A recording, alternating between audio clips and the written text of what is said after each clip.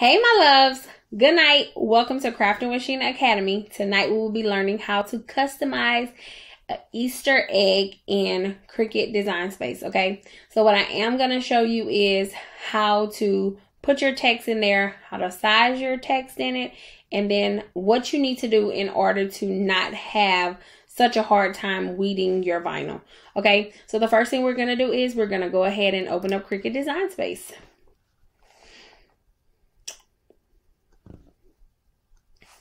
And then I'm going to show you my egg. This is the egg that we're going to that we're gonna put it on. Okay. Cute little egg. I'm gonna go ahead and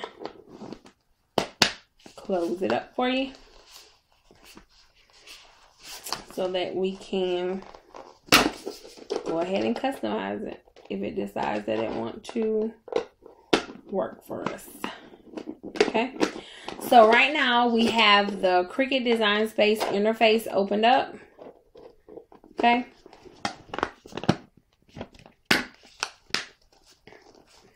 So the first thing I am going to do is I'm going to click new project. And so boom, pop up. Our canvas will come up on the screen and I'm simply going to do just a simple text. So I'm going to come over here to my left toolbar and I'm going to type out Braxton. And I'm going to come here and the first thing that I like to do is I like to put whatever color that I'm going to use. I like to change it to the color. So I am using yellow and then I'm going to choose my font.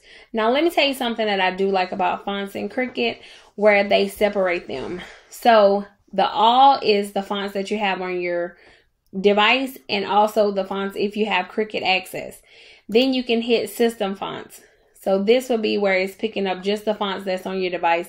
And then here you have the Cricut fonts where it's only picking up the ones that's on Cricut design space. So I'm going to choose this. I think I like this blueberry pancake. Yeah, this is cute. So I'm going to unlock it. And once you unlock it, you can come up here and change. It automatically changes it back. So I'm just going to come up here and put it back to yellow. And then for my size, I'm going to make this a five wide by two and a half tall.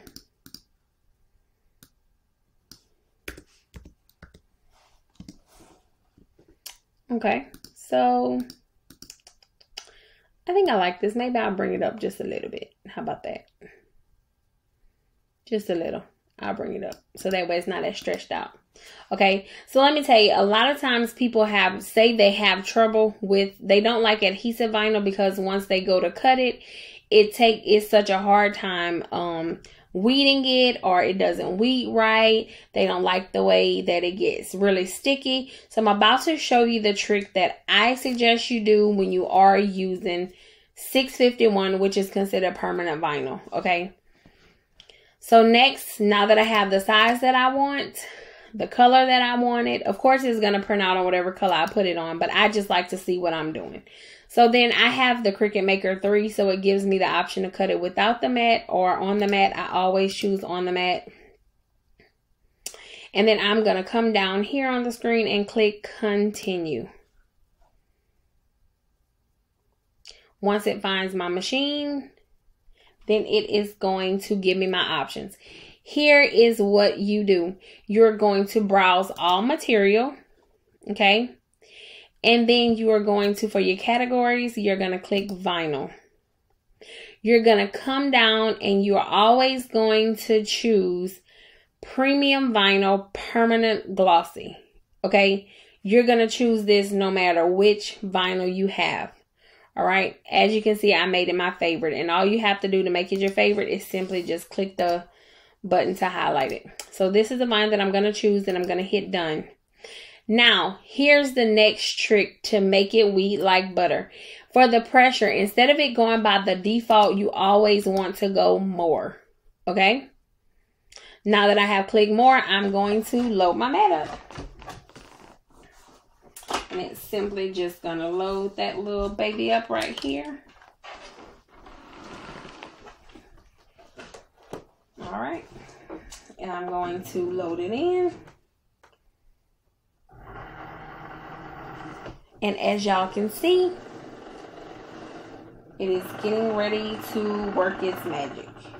Okay. And so once again, this is going to be the egg that I'm going to place it on. And then I also have my transfer paper right here. I have my transfer tape. Okay. Transfer tape is here. Front of the egg is here.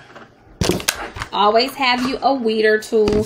Something, another tip that I would suggest is if you are a first timer, if this is your very first time trying something like this, of course I got my items from the Dollar Tree, but it's always great for you to market Dollar Tree items, okay? That's the first thing of, of the fact. If you are just starting out do you shouldn't be marketing to anyone but it's best to use items that you get from the dollar tree. That way you're not investing a lot of money. You're not wasting a lot of money okay? However if you are a business owner it is best for you to bundle your products. So for easter you should be offering a easter bag a easter cup um a shirt. That way you're marketing more things. People are more likely to buy a bundle than they are just to buy one simple thing, okay? So I'm going to go ahead and unload the mat. And I'm going to show y'all this, okay? Because I really want you to see it. As you can see right here, I have the light shining on it. You're able to see the cut lines that's in the vinyl. That is really what you want to be able to see. Okay? You want to be able to see the cut lines. Alright? And so I'm just simply going to put this into the screen so that you can see simply what I'm doing.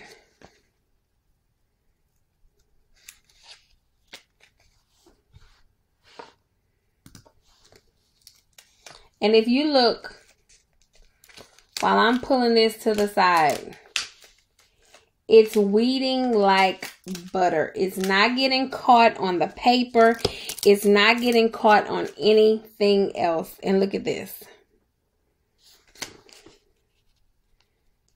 I literally can go in the inside of the letters and just pull them out with my fingernail. Okay?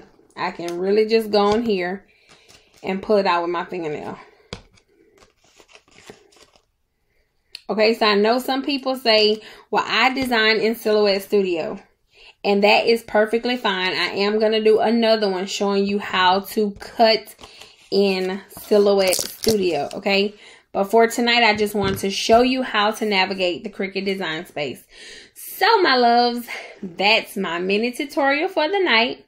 And I can't wait for y'all to see what our next night is going to be because by the end of the week, by Friday, Friday, my loves, we will have our Easter basket all the way together.